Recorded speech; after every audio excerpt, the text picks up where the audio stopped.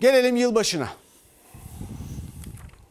Yılbaşında şartlar zor. Ekonomi biliyorsunuz içindeki şartları her gün yaşıyorsunuz. Dolayısıyla bu sene yılbaşı kuru yemişten filan hani neyse onlardan yola çıkarak bu başlığı attık. Yarım kilo yılbaşı. Enflasyona savaş diye yazı yazılmış. Orada o. Ama oraya girdiği zaman o da yok. İnsanların alım gücü çok daraldı. Yok derecede yani. Biraz çerez aldım, biraz lokum aldık. 200 milyon gitti. Bir şey alınmıyor.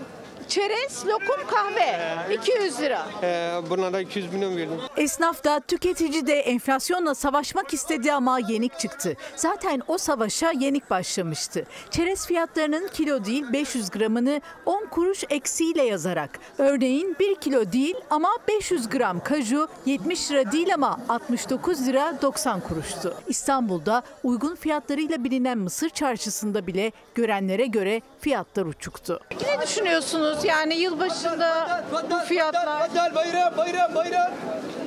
Uçmuş. Fiyatlar uçuk. Nasıldı fiyatlar?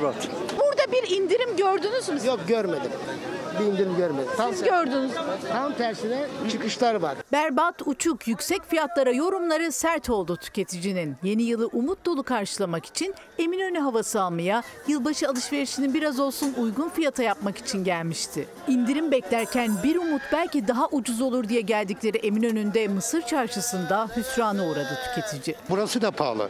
Yani ha oradan almışsın ha buradan almışsın hiç fark etmiyor. Yani alınacak bir durumda değil. Geçen yıl 9 lira olan lokum bu sene 28 lira olmuş düşünebiliyor musunuz? Daha ucuz olur diye mi geldiniz? Evet ama kesinlikle çok pahalı her şey. Tadımlık Ne kadar tuttu? geçen senenin iki katı. Karışık çerez 65 liradan başlayıp içindeki kuru yemiş çeşidinin oranına göre 145 liraya kadar çıktı.